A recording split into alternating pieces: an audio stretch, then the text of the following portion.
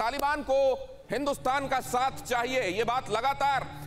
वो जबीउल्लाह मुजाहिद हो या सुहेल शाहीन, जब टीवी नाइन भारतवर्ष के साथ उन्होंने बात की तो हमेशा ये कहा कि हिंदुस्तान के साथ हम संबंध बेहतर चाहते हैं, ये बात बार बार दोहराई गई।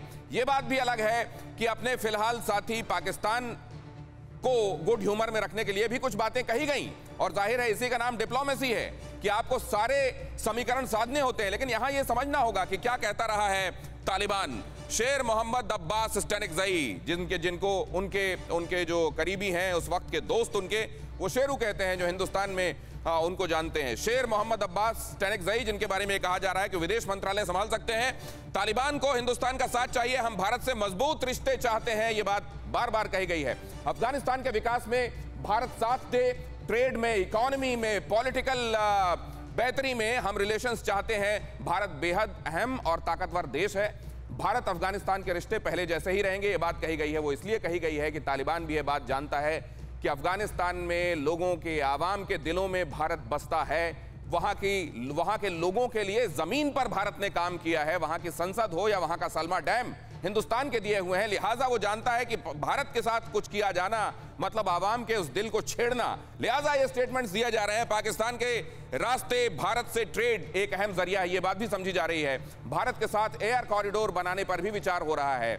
ये जानता है अफ़गानिस्तान बहुत अच्छे से कि पाकिस्तान के साथ उसके संबंध कब कैसे होंगे वो नहीं जानता, लेकिन भारत वहाँ के आवाम के हिसाब से एक भरोसेमंद सहयोगी हो सकता है। लेकिन अब सवाल यह है कि तालिबान अगर वहाँ हुकूमत करता है तो हम कब किस हद पर जाकर उसको रिकॉग्नाइज करेंगे? ये एक एक मिलियन डॉलर क्वेश्चन है। नीलम अरशाद जी के पास एक बार फिर से जाना चाहता हूँ। नीलम अरशाद जी इस बात पर आप क्या कहेंगी? स्टेनिक जई और हिंदुस्तान के दूध के बीच में मुलाकात। Uh, मैं तो अपनी और भारत की ये बात करूँगी कि हमारा ट्रेड रिलेशन अच्छा होगा तो हमारी आवाम इससे बहुत फ़ायदे में रहेगी।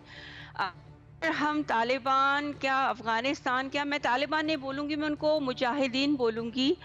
तालिबान को बहुत गलत तरीके से ट्रीट करवा के उनसे गलतियाँ करवाई गई उनसे टेररिज्म करवाने की नाम दिया गया जो कि जो कि नहीं थे। अभी जो आए हैं बड़े रिफाइंड और कल्चर्ड लोग आए हैं अपनी हुकूमत बनाने के लिए। हमें चाहिए कि अपने इस खत्े की खातिर हम उनके साथ अच्छे रिलेशंस बिज़नेस रिलेशन सी पैक के साथ भी ट्रेड रिलेशन जो कि इंडिया पाकिस्तान का अच्छा रहा है और होना भी चाहिए। नीलम तो इससे हम सब आज लगी नहीं रहा है कि वो नीलम इरशाद जी हैं जिन्होंने कुछ दिनों पहले कहा था कि तालिबान कश्मीर को लेकर तोहफे में पाकिस्तान को दे देगा।